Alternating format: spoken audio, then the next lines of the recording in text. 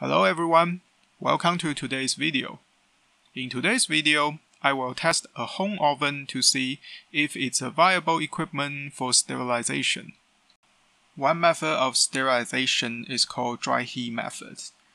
It achieves sterilization by using dry, high temperature air that is about 170 degrees Celsius or 338 degrees Fahrenheit to kill off microorganisms.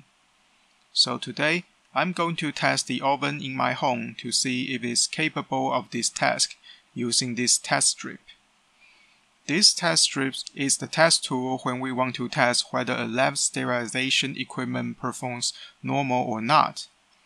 The strips, which is inside this package, contains heat-resisting spores that will be killed if the equipment works normally. However, if the equipment fails to kill the spores, they will grow into live bacteria. This kind of test tool is called bioindicator for sterilization. There are different type of bioindicator for different type of sterilization methods, and this one is for dry heat. Now I will prep the test by putting two test strips into the oven with a thermometer, in which one of the strips will be taken out in the middle and one of it will go through the entire process and I will leave another strips next to the oven as control. The oven will be set to 170 degrees Celsius or 338 degrees Fahrenheit.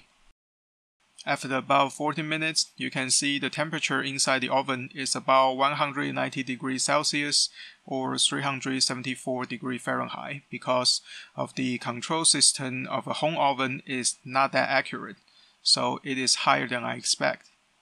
Now I will take one strip out and start to count one hour for the other strip.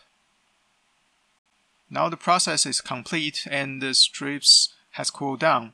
I can take the strips to the lab for next step. The next step is to culture the strips to see if the spore were killed by the sterilization process. According to the manufacturer protocol, the strips has to be cultured in TSB medium under 30 to 37 degree for 7 days. Now 7 days has passed, let's see the result.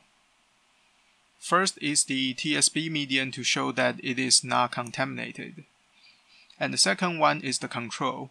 You can see the medium become turbid, means that there are bacteria grow inside. The third one is the strip that went through the entire process.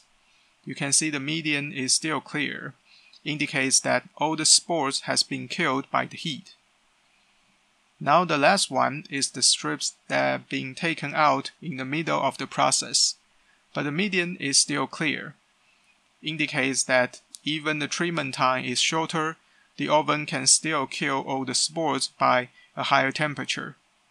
So in this test shows that home oven can be used as dry heat sterilization equipment to sterilize heat-resistant material like glassware or metal object.